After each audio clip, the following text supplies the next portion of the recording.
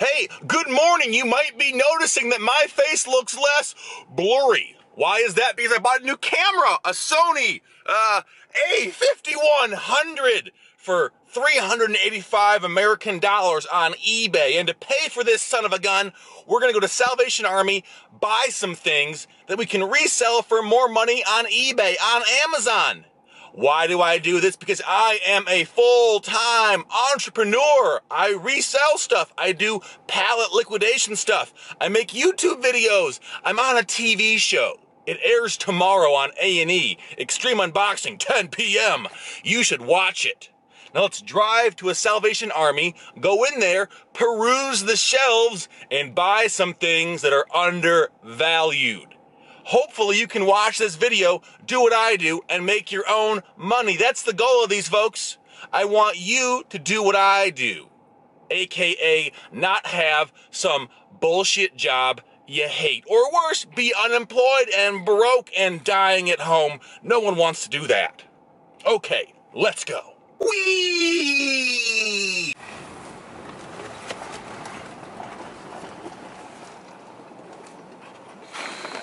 Uh-oh. We are here, Salvation Army, Ann Arbor, Michigan. I'm gonna go in using my phone, stealth mode. I don't wanna walk around with this camera in there like a weirdo. And then we'll go back to the warehouse and explain why I bought what I bought. Okay, first things first, get yourself a nice rickety cart. I'm going over to the electronics section. These cameras here are not really worth anything. They want five bucks or so each. You can't really sell them at all, so we're going to pass on those. But I do like obsolete electronics, old printers, DVD, VCR combos. Although this time, no DVD, VCR combos, but I did see a VCR. When you get these VCRs, the first thing you want to do is always, always, always test them in the store. The last thing you want to do is buy a VCR for 10 bucks, whatever it is, get it home and see it's broken, you wasted your money. Now this one right here, plugged it in, uh, and as you will soon see, it is a piece of garbage. Does not work, completely broken, the front flap's even snapped. Next up is the clocks. You've seen me buy these a lot, sell them a lot. I'm always looking for Sony, Philips, and Panasonic brand. Now this one right here with the wood grain on the side, cannot sell it on Amazon. Uh, that one right there is a C218, I believe. They're kind of cheap right now. This one, I'm not so sure, haven't seen it before, but a lot of these, you have to look them up, see what they're going for. The good thing about these clocks is they're oftentimes below one pound, so you get first class shipping. Over there, uh, I was looking for bread makers. No bread makers. Those are still selling pretty hot. I'm over in what my Salvation Army calls the knickknack section, and I see a dream catcher. You gotta check these out though. Make sure they don't have any uh, bad dreams in them. This one, full of bad dreams. Did not buy it. Put it back in the shelf. But then over here, I see, uh, it looks like some Mary Kay makeup, and that is always worth looking up because that old Mary Kay stuff, people want to pay up for it, and they only want, uh, you know, two for a dollar here, which is a pretty good deal.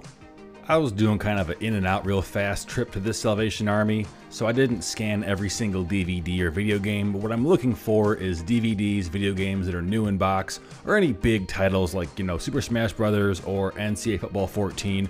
None of those, nothing really that good here. Uh, i come here pretty frequently, so I pick out all the new, uh, new and sealed DVDs. None of them here. Over to toys, same thing, looking for sealed items. This uh, specific toy I could not find the listing for on Amazon, so I left it. Over here, this puzzle, if the box wasn't completely obliterated on that corner, I would have bought it. Sells for about 35 bucks, but you can't sell it uh, in that condition. It looks like an animal got to it. Not bad. Spent about 15 minutes in there. I spent uh, $53.42, bought 11 items. Now, let's see how much they're worth and what I'll sell them for. Back in the warehouse, and here's what we have. I purchased these discontinued Mary Kay makeup things. Uh, this 14 megapixel Panasonic camera right here with the charger, and I have the battery inside. I charged it. Let's see if it turns on it does turn on and look we have a nice little picture of a cat. That's not screen damage that's just the way the picture is. Uh, this Sony TV weather FM radio. Whenever you see uh, weather radios those always seem to uh, be worth a little bit more. I bought this one DVD it was 50 cents uh, you know this is the by far the least uh, the least interesting purchase. HP Envy 45 uh, 4520 right there and then this Sony Wi-Fi Blu-ray player with the apps. It's the uh, SDP S3100. So now how do I figure out what all this stuff is worth? Well, I use my phone. Wham! I use the Amazon and eBay seller app, and I'm going to show you right now how I do that. So here it is. I have my uh, eBay app pulled up, and then I just typed in Mary Kay Medium Coverage Foundation, and then on the bottom of these, or on the side, it says uh, Bronze 708, Bronze 708, or uh, one of these is 600 Bronze 600. They're all expired. That's fine. Uh, the makeup selling is all expired too. People don't like it, uh, or people don't care. I mean, they do like it enough where that doesn't really matter to them. And uh, to see what the things are going for, all you have to do is, again, type in the name, search it, go up here to filter, go down to completed listings, and we'll see uh, just exactly what's going on. And it looks like this one sold uh, a few days ago, about a month ago. Uh, and these are all around like 10 to 20 bucks, 10 to 15 bucks. What I'll do for these uh, the ones that are the, the same model number or color or style between both of these, uh, they're all going for the same price. I'll lot them up, somewhat 10 bucks a piece. And as you can see, I paid uh, two for two bucks there, so a dollar a piece. Uh, normally I wouldn't buy just one of those, but because I can lot them up, I'll make, let's see, I did the math already. Uh, there's 11 of them. If I can sell them for 15 bucks a piece, I'll make 165, 10 bucks a piece, 110. So not bad at all. Uh, this uh, Panasonic DMC S, uh, S ZS8 camera. Amazon seller app is pretty similar to the eBay app. We just type in add a product or, uh, or click the add a product button on the Amazon seller app homepage, type in the name, you see it's right there, Panasonic DMC SZ8, Panasonic DMC SZ8, and then uh, you search for it and it'll show up uh, the options real quick. My fingers are too big to do this. Yeah, right there, you see it selling for 153.90. Okay, so interesting news. Uh, as you just saw in the video, the option I showed you was the DCM ZS20, not the ZS8.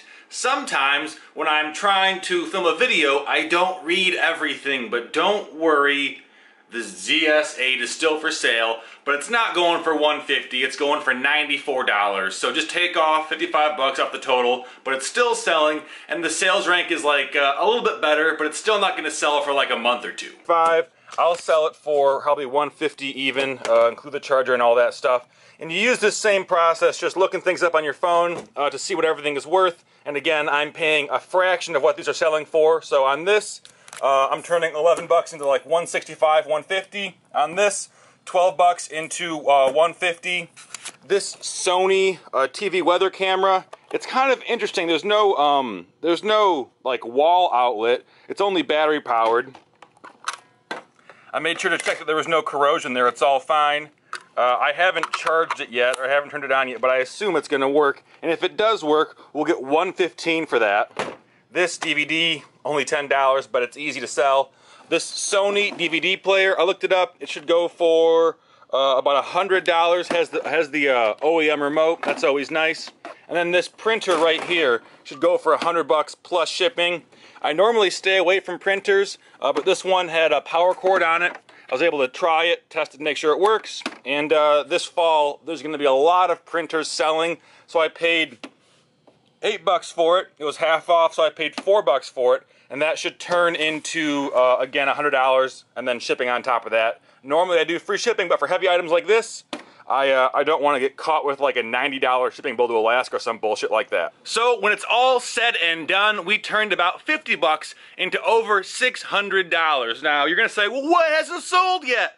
The Mary Kay stuff is selling about a month. The Blu-ray player will sell in days. The printer, maybe a week or so. Probably the biggest, hardest sell is gonna be this one right here, the Sony uh, ICF S79V. It might not sell for until like Christmas time. I'm going to FBM it, meaning it's gonna stay in my warehouse. I've got a lot of stuff here, that's totally fine though. It's all relatively organized. Uh, so when it does sell, I'll put it in a, uh, in a box. It weighs over a pound, so it'll ship for like seven bucks. But very easily, let's see, let's say I make 600 bucks revenue. We're gonna pay a 15% uh, Amazon fee, so that's 90 bucks, 510, and probably to ship these six items, or these six listings, uh, it's gonna be, I'd say, probably we're gonna get out of here with about 425 bucks profit, and that's gonna uh, accrue over the next like four months. But when this thing sells right here, this bad boy, this uh, the Sony one right there, we're gonna be in the black already because I paid 55 bucks. That'll sell for 100. I'll make like 75 or 80 off that after fees and shipping. And that is the way you want to do it. Hope you guys liked this video. And remember, if you did, please give it a thumbs up and subscribe to my channel. I hope you like the new camera. Hope you like the podcast I'm doing two or three days a week. Not sure how that's going to go, but I'll see you guys later.